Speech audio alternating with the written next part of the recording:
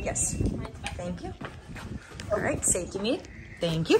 Got these. So, uh, because you're going to be flying along the coast over water, uh, along the tour here, uh, regulations require that everybody wears a flotation device. So that's what these are. We're going to put them on now, and then you'll be wearing them for the duration of the flight.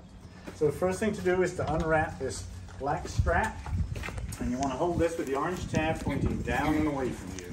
Do not open the orange tab, though. You will not be opening the orange tab. When you got that, you just reach around behind. Reach around, bring that black strap around, and clip it into the buckle at the other end.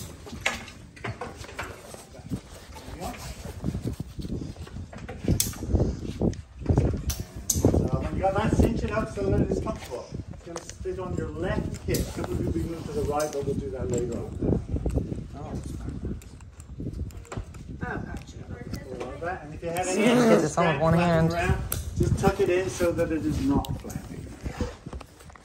Hopefully you guys can see.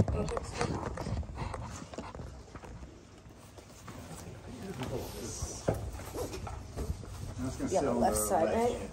Yep. Okay, yeah, and just tucking your strap there so it's not flapping around. Then have a seat again. That is the end of the workout.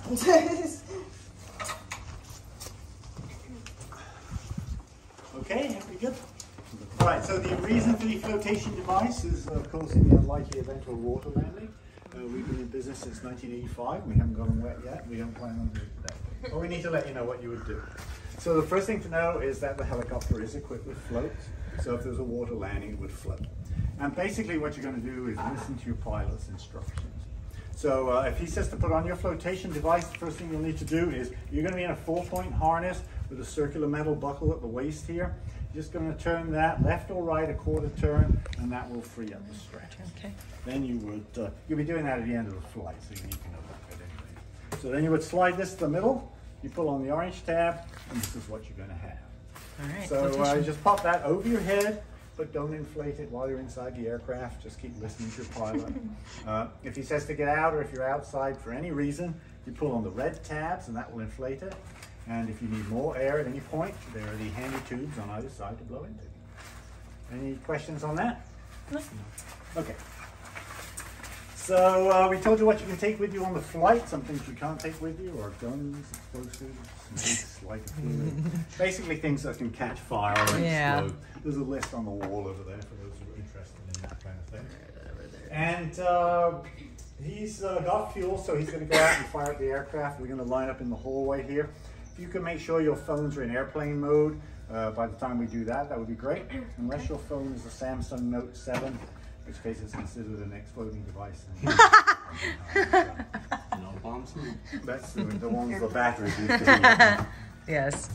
We did have a guy flying with us recently, and he said he uh, had one of those. He was at work one day and on his desk and did exactly what they said it Oh, he was one of them. Jeez. It blew up and blew up on it. Okay, so uh, any questions at all?